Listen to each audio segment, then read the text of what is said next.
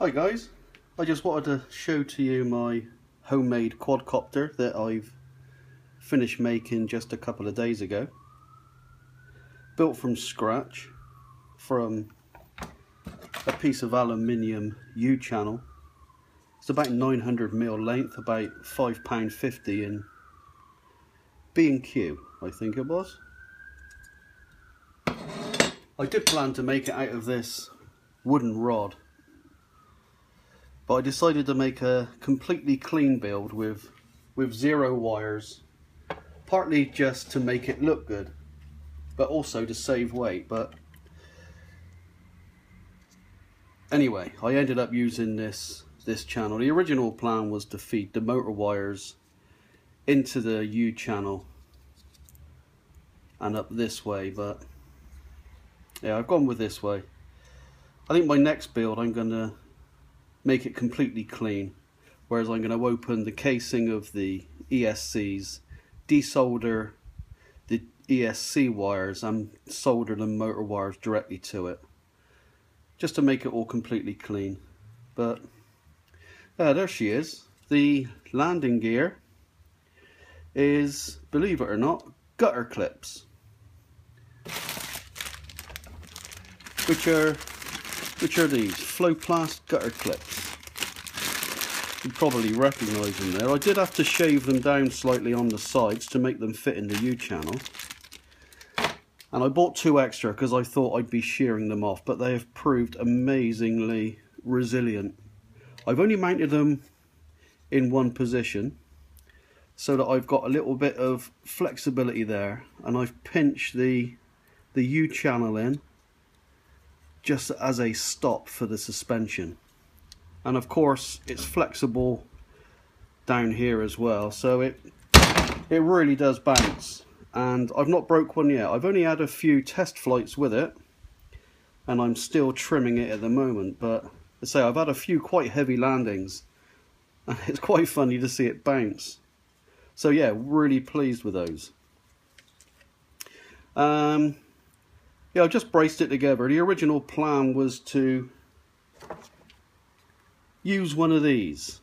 Um, I had to drill it out slightly bigger for my screws, but I was going to mount it underneath the quadcopter and not have separate ESCs. I say I want, I did want a completely clean build, but I somehow have broken this. What I'd done, I was screwing the the motor wires into here. And being clamps, you, I was just unsure of how strong they'd be. So I perhaps went a little bit over tight.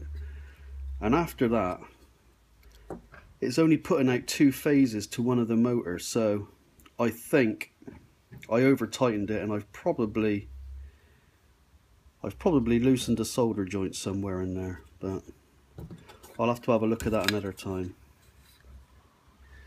So I had to get the Emax 12 amp Simon K flashed ESCs.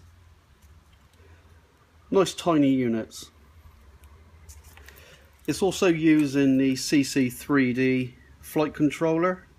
I think that was about £12 on eBay. And also the Orange RC R615X, which is a DSMX receiver.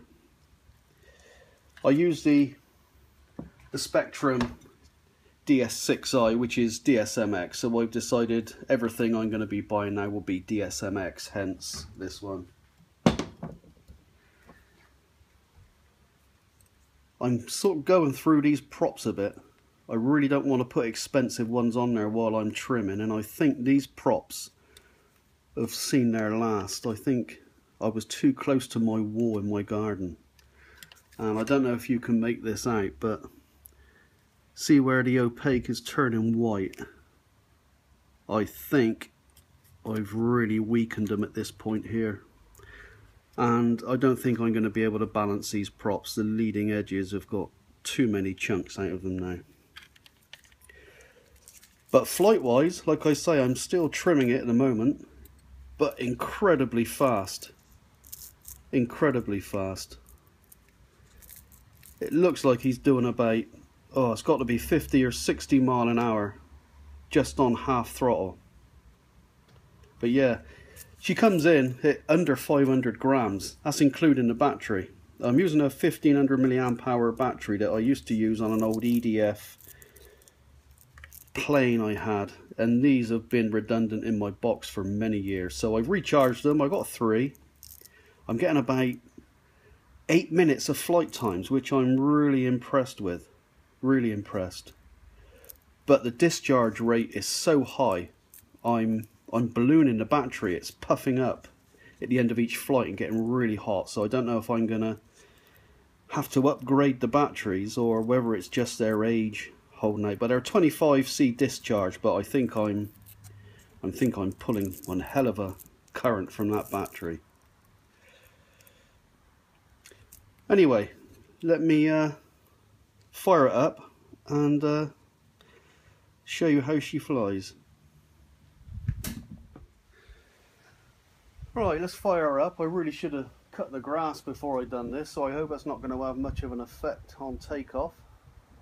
But like I say those props are a little bit damaged now so I hope it's still trimmed enough for actual flight. So let's give her a go. Let's just arm it. There we go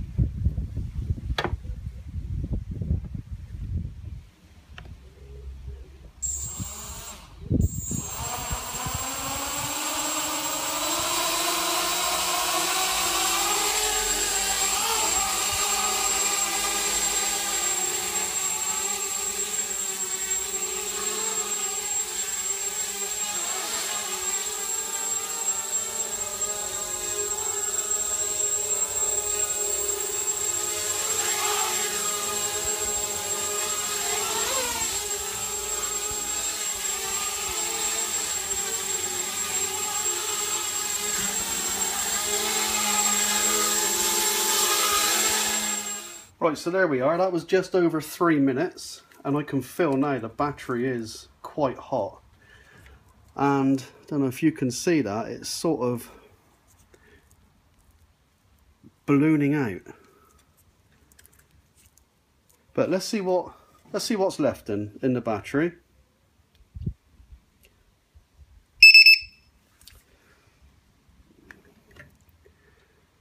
Eleven point one volts I did notice that one of these cells, 374, 371, no that's fine, I did notice that one of the cells on one of the three batteries is losing voltage towards the end of the flight time really fast, down to about 3.2, so I'm guessing I'm exceeding the capacity of the uh, the battery there, so also, I noticed I did take a chunk off the blade, but not for the last minute or so of flight, I don't think. But it compensated well. It didn't sound like it was out of balance at all, but let's say, when you start off getting uh, making your quad, you're going to need a bunch of props.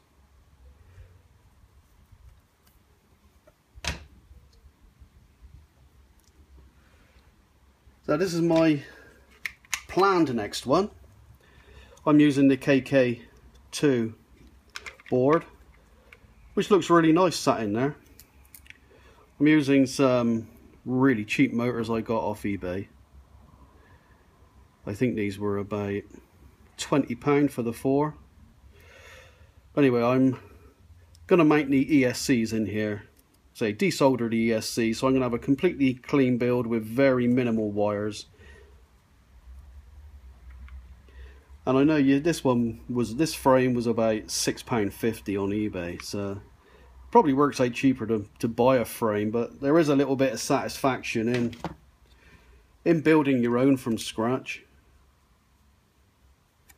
So, when I get it all trimmed up, I hope to give you another video and I'm really excited to see the speed of this thing. Like I said, I estimate it's doing about 50 or 60 miles an hour on only about half throttle.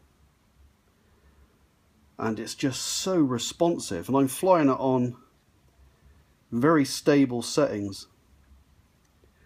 And to be fair, I've not experimented past those settings on any of my flights, not even with my with my main quadcopter, which you can see in my other videos. Say we've only been flying quadcopters this summer.